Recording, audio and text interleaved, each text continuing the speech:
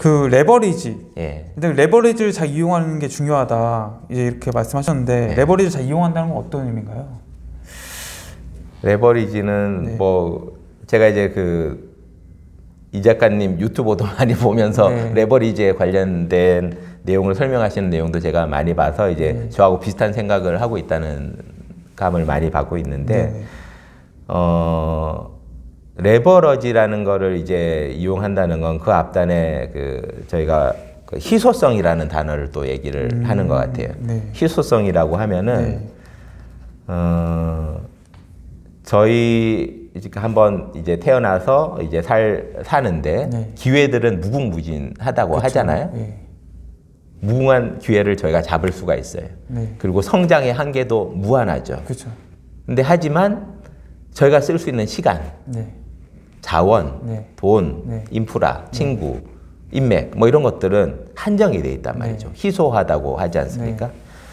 근데 그 희소한 중에 예를 들어서 제가 어, 어떤 사업을 하거나 돈을 벌기 위해서 제가 뭐 땅을 파서 네. 감자를 심고 네. 감자를 캐서 먹고 이렇게 한다고 생각하면은 어, 제한이 생- 있을 수밖에 없잖아요. 그쵸. 희소한 자원, 그러니까 내 감자 씨앗과 시간을 통해서 또는 1년에 그걸 뭐 한 10번씩 할 수 있으면 좋겠지만 네. 1년이라는 시간 또는 저희가 이제 직장 생활을 해서 돈을 벌 수 있는 뭐 2, 30년이라는 시간 동안 네. 할수 있는 것들이 있잖아요. 그런 희소한 자원 가운데 네. 저희가 목표한 거를 이루기 위해서는 저희가 쓸 수 있는 자원들은 저는 많다고 보는 거죠. 음, 그게 이제 시간이 될 수도 있고 돈이 될 수도 있는데 네.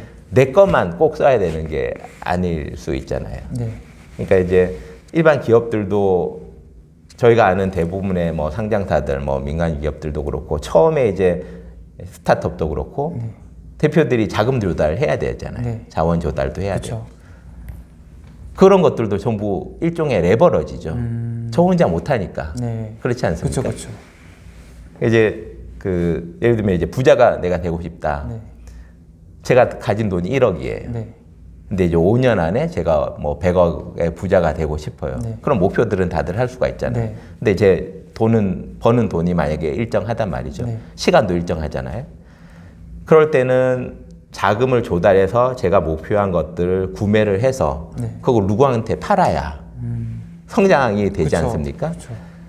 그래서 그런 시간, 내 돈 뿐만 아니라 이제 금융적인 조달을 할 수 있는 이 자원, 그 생각, 생각도 일종의 자원이 될 수 있잖아요. 네. 생각도 이제 레버리지를 제 생각으로 안 되면은 같이 물어서 이제 생각을 얻는 거죠. 네. 그게 이제 멘토링이 될 수도 있고 여러 가지가 될 수 있는데 그런 여러 가지 이제 제가 가진 자원 플러스 제 주변에 가진 자원들을 같이 힘을 합해서 하는 것들이 이제 레버러지라고 생각을 합니다. 뭔가 다른 사람의 것을 뭐 이용하는 걸 의미하신 의미하는 건가요? 뭐 단순히는 그렇습니다. 뭐 여러 가지 이제 뭐 내용이 이제 많지만 네. 일단 뭐 쉽게는 그렇게 말씀드리겠습니다. 그러면 이 레버리지를 잘 이용한다는 것은 그런 이제 다른 사람의 그런 뭐 자본이나 자원이나 이런 것들을 내가 많이 활용한다는 의미인가요? 그게 이제 기본적인 의미가 되겠고요. 네네. 거기에 이제 항상 따라 붙는 단어가 이제 통제력이지 않습니까? 음. 예를 들어서 네. 제가 1억이 있는데 네. 1억을 빌려서 2억을 가지고 10억짜리 집을 사겠다라고 네. 해서 1억을 빌렸어요. 네. 근데 그 10억짜리 집이 네. 저한테 어떤 회수가 안 되는 자원이거나 네. 또는 제가 빌린 1억을 제가 갚을 수 있는 능력이 없다면 네. 사실은 그게 문제죠. 음. 저는 그런 부분들을 이제 통제력이라고 보통 얘기를 하거든요. 네. 제가 통제할 수 있는 통제할 수 없는 부분을 네. 레버러지로 한다면 음. 그건 문제가 생긴다고 봅니다. 거기서 이제 실패 요인들이 대부분 오게 되는 거고요. 네. 온 되게 에, 온다고 저는 보고 있고 그런 통제할 수 있는 수준의 레버러지를 좀 더 세밀하게 이제 분석을 하고 네. 그걸 이제 완벽하게 한다는 거는 어렵지만 저는 이제 이 책에서 대부분 완벽도 사실 조금 벗어나야 되는 거예요. 네. 완벽하게 뭐든지 하려면 거기서 이제 어려움이 생기는데 그렇다고 해서 대책 또한 없어서는 안 되는 거죠. 음. 그러면 제가 뭐 1억만 뭐 제가 뭐 예를 들면 이제 신용에 따라서 1억밖에 못 나오기 때문에 그럴 수도 있지만 네. 은행에서 3억 빌려서 사업하세요. 근데 이제 1억만 빌리는 이유는 처음에는 제가 1억 정도만 해서 할 수 있으니까 네. 또는 10억 정도만 할 수 있으니까 그 제한들을 저, 저에 대해서 잘 알아야죠. 그렇죠. 그런 부분을 통해 가지고 레버러지를 얻어야 되는데 아까 질문하셨듯이 레버러지를 무조건 얻어서 성장할 수 있, 있겠습니까? 이런 질문들은 저 자신의 문제인 거라고 보고 있습니다. 음, 네. 알겠습니다. 그 시스템을 통해서 성을 쌓아야 한다는 건 어떤 의미예요?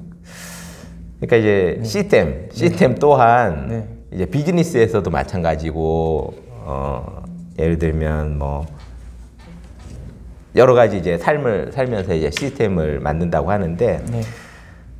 어, 저희가 어떤 뭐 예를 들면 뭐 가구, 가구 하면은 저희가 딱 머릿속으로 떠오르는 이미지 있잖아요. 네. 뭐 누구누구 가구. 네. 어, 그리고 뭐 두부. 네. 두부 하면은 어디 떠오르시죠? 네. 네. 뭐 김치. 네. 저희가 사 먹는 김치. 네. 뭔가 이제 전자제품, 스마트폰 이런 것들이 예를 들어서 제가 혼자서 집에서 네. 잘 만들어 가지고 저 혼자 먹거나 네. 제 이웃들한테만 나눠준다고 했으면은 네.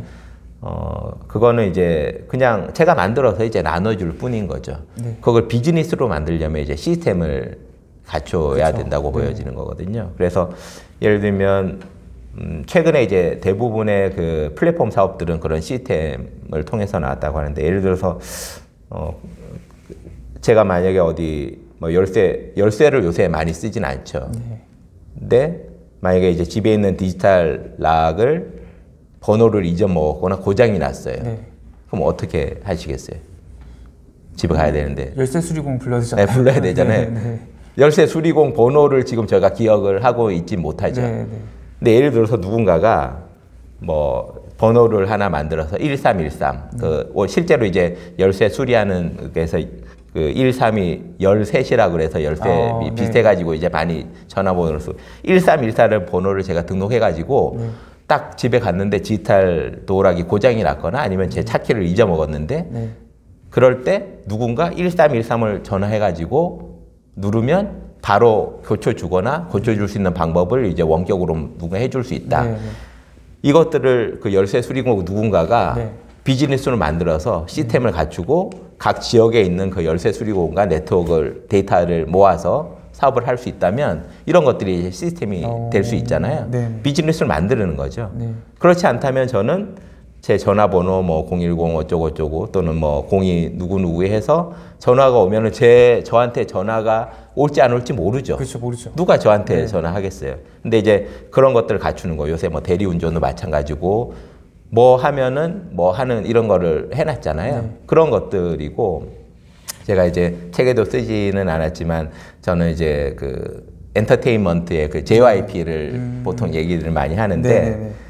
예전에 이제 그 박진영 가수가 SM 오디션을 봤는데 떨어졌다는 얘기를 하잖아요. 네. 예를 들어서 박진영 씨가 SM 오디션에 붙어가지고 SM 소속 가수가 됐다면 네. 지금과 같은 JYP와 같은 큰 그 엔터테인먼트 그룹을 만들기는 힘들었을 음. 거라고 생각이 되거든요. 그러니까 이제 물론 제 능력을 발휘해가지고 어딘가에 소속돼서 네. 어, 그 시스템 누군가 남들이 갖춰진 데에서 시스템 속에서 어, 제 능력을 좀 더 펼치고 어, 제가 하고 싶은 일을 하는 것도 중요하지만 네. 거기서 벗어나서 어, 제 후배들을 양성하고 시스템을 갖춰가지고 상장도 하고 거기에 대해서 좀 더 더 큰 부를 이루기 때문에 그거 가지고 또 다른 사업을 할 수도 있고 미국에서 뭐 빌보드 차트에 에, 이름 올리겠다라는 목표도 달성할 수 있고 후배들을 좀 더 많이 해가지고 할 수도 있고 뭐 이런 것들을 할 수가 있는 것들이 않습니까? 그러니까 엔터테인먼트도 단순히 내가 좋은 노래를 만들어서 어, 유명한 노래를 만들겠다 이런 것들도 있지만 네. 그런 회사를 갖춰가지고 하는 것들이 그게 이제 일종의 시스템이라고 음. 생각이 들거든요. 부자가 되는 것도 마찬가지인 것 같아요. 내가 뭔가 돈을 받아서 네. 어, 잘 쓰는 거. 네. 그러니까 소비의 측면인 거죠. 네. 근데 이제 내가 어느 정도의 돈을 버는데 그 중에 일부는 내가 투자에 할당하겠다. 음. 그래서 자연적으로 이제 현금 흐름이 들어오는 거를 이제 보통 시스템이라고 네. 어, 부르지 않습니까? 그런 시스템을 에, 만드느냐 안 만드냐가 이제 뭐 비즈니스, 뭐 인생, 뭐 이런 거에도 다 전체적으로 좀 연관이 돼 있는 것 같습니다. 예. 그럼 이걸 시스템을 통해서 성을 쌓는다는 건 뭐예요? 그러니까 이제 네. 시스템 성을 쌓는다는 의미는 네. 어, 시스템하고 성하고도 이제 비슷한 의미가 될 수 있죠. 근데 이제 시스템을 갖춰 놓고 나서 네. 어, 그게 금방 그 세상의 어떤 변화에 따라서 무궁이 가지가 않잖아요. 네, 그렇죠. 시스템이라는 걸 갖춘다고 해서 네.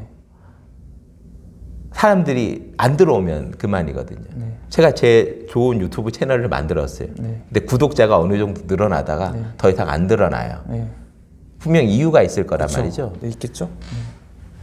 그런 시스템, 그러니까 제가 시스템을 잘 만드는 것도 중요하지만 네.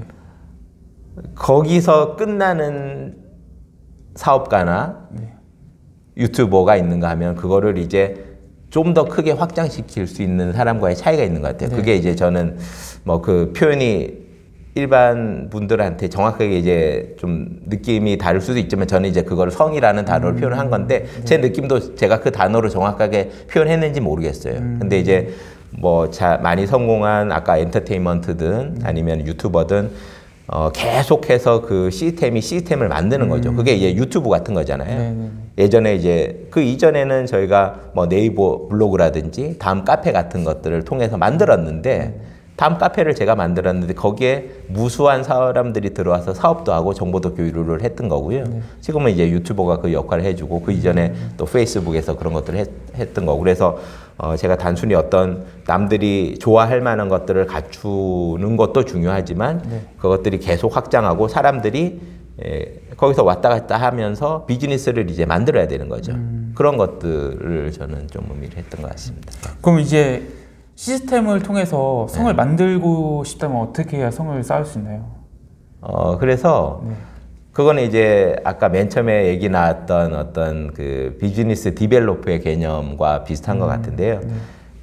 제 기술, 제 생각을 잘 시스템으로 만드는 거는 사실 상당히 어려운 거거든요. 네, 근데 거기서 그치고 남들이 안, 오, 안 오면 그냥 제 시스템일 뿐이에요. 음. 제가 아까 중간에 말씀드렸던 1313 번호를 등록을 했어요. 네, 네, 네. 그리고 이제 홈페이지를 뭐 한 1억 정도 들여서 잘 만들어 놨어요. 네. 번호도 등록하고 했어요. 네. 광고도 했어요. 근데 사람들이 안 들어오면 그만이죠. 음, 어, 나는 우리 집 앞에 있는 내가 열쇠 철물점 아니까 네. 거기 전화해가지고 하겠다고 하면 되는 거죠. 이거를 이제 광고까지도 못 가고 마케팅 측면으로도 못 가고 네. 어, 그거에 대해서 이제 또 최소한 자기 동네 또는 전국에 있는 열쇠 협회에 가입돼 있는 열쇠 전문가들한테 DB가 만들어져서 그게 실질적으로 소비자들한테 쓰여야 되는 거잖아요. 네. 그래서 어, 그것도 다분히 이제 어떤 가치를 남들한테 제공하는 데 있어서 어, 고객이 요구하는 방식으로 그 시스템이 제공되는 데까지 네. 의 성- 생각이 미쳐야 되는 것 같아요. 그래서 단순히 내가 좋아하는 거를 가장 잘 만들었다는 거는 어, 그거까진 거죠. 그래서 저희가 보통 흔히 얘기하기로 네.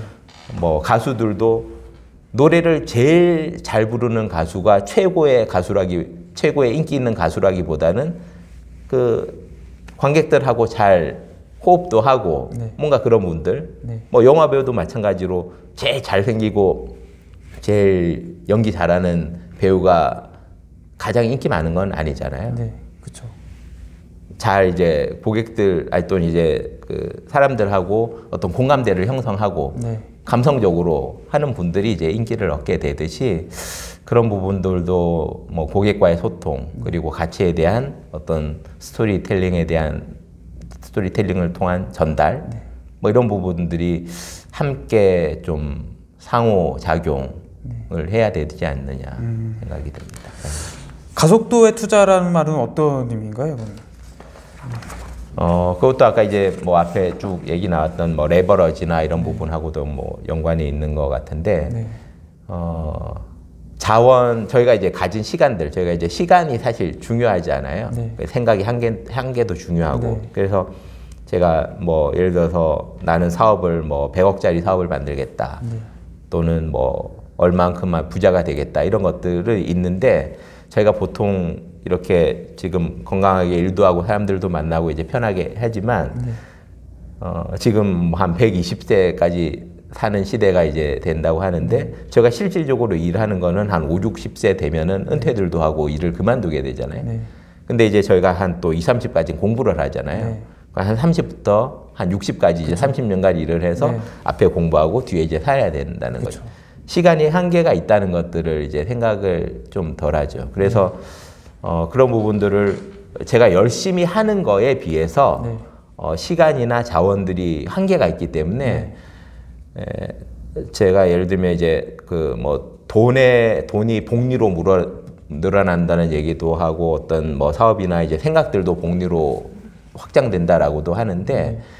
가속도라는 거는 이제 어떤 시간 동안 이동한 거리가 만약에 속도라고 한다면 그거보다 좀더 어, 나아갈 수 있는 그런 가속도라는 부분들에 투자를 하신 분들이 사업적으로나 뭐 어떤 뭐 부에 관련돼서도 이제 되는 거죠. 남들하고 비슷한 형태의 속도를 가지고서는 네. 그 범위에서 벗어나기가 힘들잖아요. 네. 그래서 그 아웃라이어라는 책이 있지 않습니까? 네. 그게 표본 구간보다 조금 벗어난 부분을 얘기를 한다고 네. 하더라고요. 그래서 이제 어, 같은 방식, 뭐 같은 시간 같은 것들로 해서는 어, 평범하죠, 사실. 평범한 게 나쁘다는 게 아니라 네. 어, 저희가 지금 이렇게 어, 시간을 보내서 충분히 저희가 이제 다른 것도 할 게 있을 네, 텐데 네. 저희가 일부러 시간을 내서 뭔가를 하고 한다는 거는 네. 어, 저희가 이 과정을 통해서 이제 최소한 보람은 있어야 되고 네. 그게 명예이든 돈이든 뭔가 이제 작용을 해야 된단 말이죠. 네. 그런 목표가 있는데 방식은 똑같은데 제가 목표한 거는 남들보다 좀 더 나아지고 싶다. 이거는 조금 안 맞는 것 같아요. 음. 남들과 어, 다른 뭔가 성장을 얻으려면 네. 그만큼의 방식이 달라야 되는데 네. 에, 이렇게 보면 성공에 이른 사람들은 네. 남들과 다른 뭔가 가속도 가 있는 네. 부분에 투자를 했거나 음. 그런 어떤 성과를 창출을 한 거라고 알고 있습니다. 음, 알겠습니다. 어, 도전의 가치를 더해야 된다는 건 어떤 의미인가요? 아, 도전에 그러니까 이제 단순히 저희가 뭐 그 나이에 불구하고 네. 어떤 상황에 불구하고 네. 도전하라는 얘기를 상당히 많이 하는 것 같아요. 네. 지금은. 그렇죠, 그렇죠. 그래서 어 뭐 그 어떤 시대보다도 도전만 하면은 많은 음. 성장을 할 수 있는 시대라고도 얘기하고 있고 네네. 또 한편으로는 뭐 요새 이제 여러 가지 뭐 정치적인 상황이나 여러 가지 상황이 통해서 어 뭐 사다리가 걷어차였다. 네. 부 부익부 빈익빈을 더 이상 뭐 극복할 수 없다 이런 얘기들도 있는가 하면 네, 네. 어, 지금처럼 다양한 기회들이 없다라는 얘기들이 이제 동시에 있는 것 같아요. 네. 그러다 보니까 많은 분들이 본인들이 잘하고 계신 것들을 벗어나는 거는 좋은데 단순히 도전 의식만 가지고는 되지는 않잖아요. 음. 도전 의식도 좋지만 어, 거기에 이제 제가 이제 가치를 담아야 된다고 하는 것들은 네, 네. 그거를 어떤 방식으로 해가지고 뭘 할지가 좀 더 구체적이어야 된다는 거죠. 음. 그래서 그 최근에 이제 뭐 정부에서도 이제 스타트업 지원 같은 것들이 많이 나올 나오고 있잖아요. 네. 어, 그 규모상으로 뭐 딱 얼마인지는 제가 잘 모르겠지만 뭐 수천억은 될 것 같아요. 네네. 수천억을 이제 스타트업 지원 사업에 쓰는데 네. 어 이제 막 뭐 대학을 졸업하고 이제 젊어서 뭔가를 도전하는데 그 자금을 받아서 일정 기간 하는 건 좋지만 네. 어, 평균적으로 이제 통계를 보면 그 중에 이제 한도 업체만 못 살아남는다면 그 나머지 여덟 아홉 은 실패를 한다는 거거든요. 그렇죠. 실패하신 분들은 그냥 적당하게 실패하시는 분들도 물론 있지만 네. 신용 불량자가 실제로 되신 분들도 많아요. 그렇죠. 그러면 남들이 이제 어 직장 다니지 말고 창업을 해야 성공할 수 있어 이 얘기를 듣고 정말 큰 도전 정신을 가지고 남들의 반대에도 불구하고 창업을 했는데 실패를 했어요. 그게 이제 돌이킬 수 없는 게 왜 그러냐면 시간도 그렇고 어, 자기의 이제 어떤 정신적인 부분이나 경제적인 부분들도 있죠. 네, 네. 그래서 도전을 안 해야 된다는 것보다는 저도 저 개인적으로 이제 도전을 한다는 측면에 이제 응원을 하고 그런 의미의 이제 비즈니스 디벨로퍼를 말씀드리고 있긴 한데 네. 도전을 할때 어, 그런 부분들을 뭐 완벽하게 준비해서 한다는 그런 측면이 아니라 도전을 하면서 거기에 가치를 그것도 이제 사실 조- 어떤 가치라는 단어에 제가 뭐 모든 거를 다 담지는 못하지만 네. 그게 있어서 뭔가 이제 성공의 확률을 좀 더 높일 수가 있거든요. 음. 네, 그런 부분들이 조금 좀더 치밀해야 되고 네. 어, 그런 부분들이 이제 뭐 반복해서 말씀드렸듯이 어, 나 자신만의 어떤 생각이나 방식 이- 이어서는 안 되고 항상 고객 중심이나 시장 중심의 에, 생각이 같이 담겨져야 된다는 그런